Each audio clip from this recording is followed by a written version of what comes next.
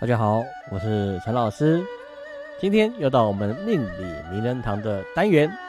开始之前，请各位务必按下订阅小铃铛以及赞的按钮，这样以后老师更新视频的时候，您才能获得通知，也帮助老师能够达到十万订阅者的目标。今天我们的命理名人堂要谈到的是，我国开国元勋之后，国民党男神立委蒋。晚安，蒋万安，他是蒋孝严之子，也是我们现总统蒋经国之孙。他出生于西元的一九七八年十二月二十六日，化作传统的八字学为戊午年甲子月壬戌日的吉时。这个生日是老师采自于维基百科上的公开资料。那也因为老师并不知道他正确的。出生时间，所以按照命学的惯例，老师就把时间化作吉时。当然，以我们的八字命学来说啊，这个出生时间是很重要的。所以呢，少了这一个资讯，整体的准度会下降大概二十五趴左右。这里就先跟各位报告哦。好，那我们来看看蒋万安的格局。以蒋万安的格局来看，好，老师是这样评断的。蒋万安可以说是所谓的腾龙之命。出生时候，他跟随祖母大姓为张，后来在十岁的时候，才跟随着父亲张孝言认祖归宗，改回他爷爷跟太爷的姓氏为蒋。所以，老按照老师的姓名学来说，如果蒋万安他没有。归回他的认祖归宗，归回大姓为蒋，人姓为张，那整个结果也会完全的不一样。今天只会有一个百姓叫做张万安，一个上班族张万安，而不会有一个创业家、一个大律师，甚至一个国会议员蒋万安。当然，有人会说他的成功是因为他爷爷是蒋经国太爷。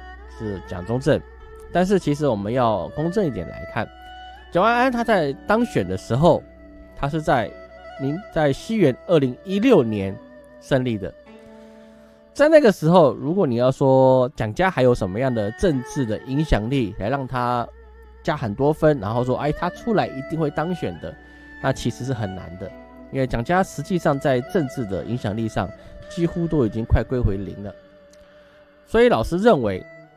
蒋万安他的成功与胜利，是来自于他的努力以及祖上积德的余荫，这两个加起来才能造就了蒋万安的今天。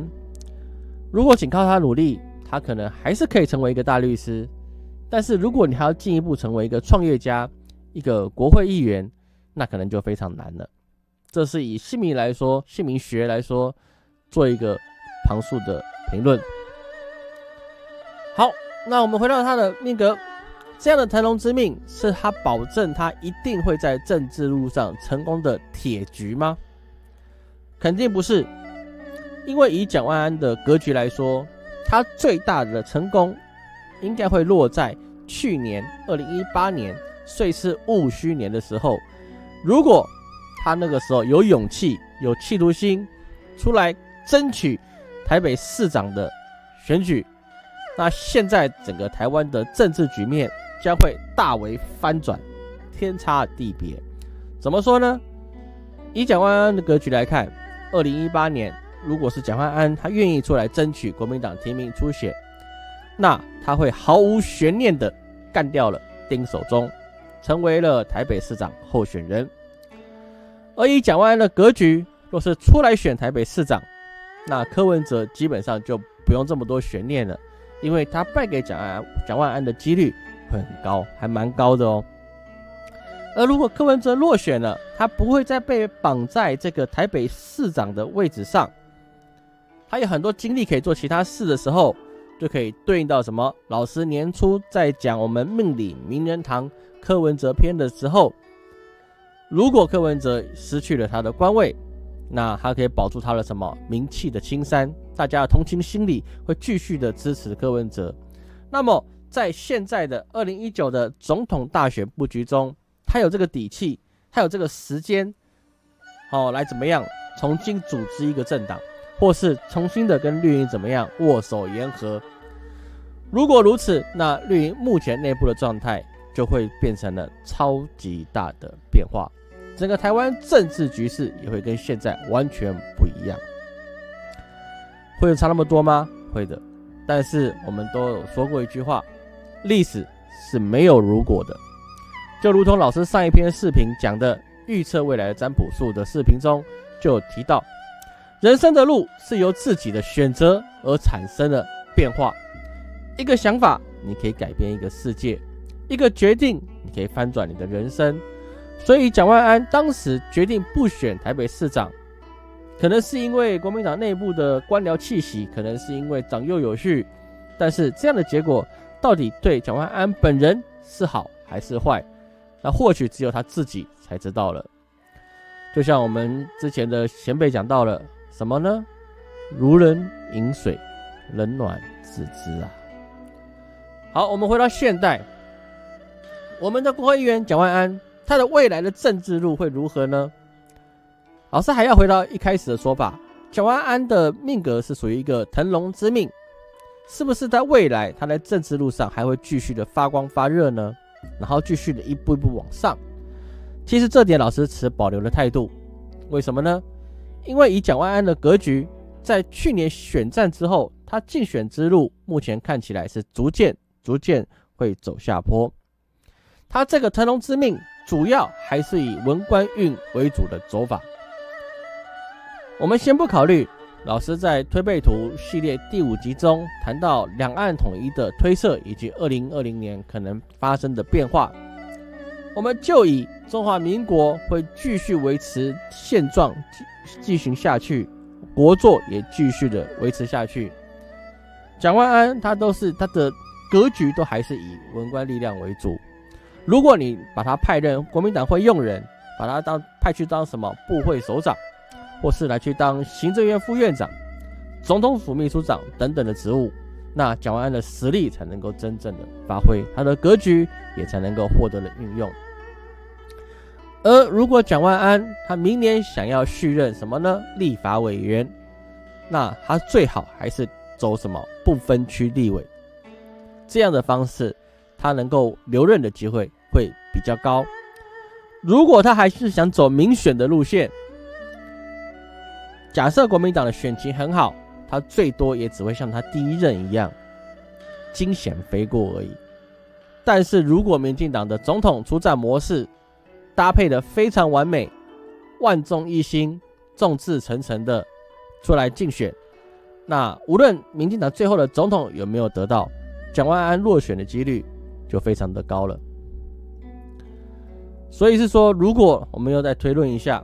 如果民进党他现在又继续的连任总统，维持着目前的执政权，那蒋万安这个腾龙之命就变成什么龙困浅滩，他会转回民间，继续发展他的事业。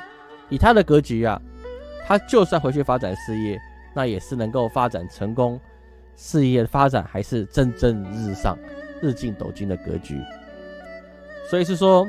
他到底是选政治路好，还是选政治路以外的路呢？其实就是看个人的想法了。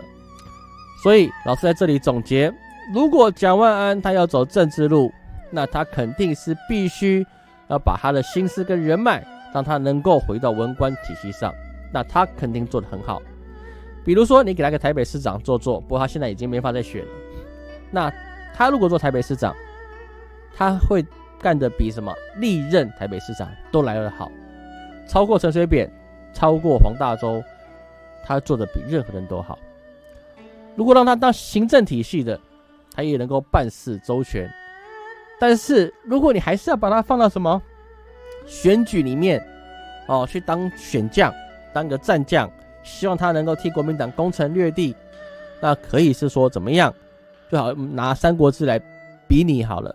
你就像在赤壁之战的时候，你要让鲁肃带着千军万马去迎战关羽一样，有意义吗？很难打，真的是很难打。哦，所以是说，蒋万安他现在的格局，你去把他当个精神指标还行，就是年轻一辈哦要交棒什么的，给年轻一个机会，那这个还行。如果你要让他去当国会议员的身份，希望他在立法院中能干出什么样好的绩效，那还真的很难。为什么呢？因为像蒋万安这种腾龙之命的人，他干不了太肮脏的事情。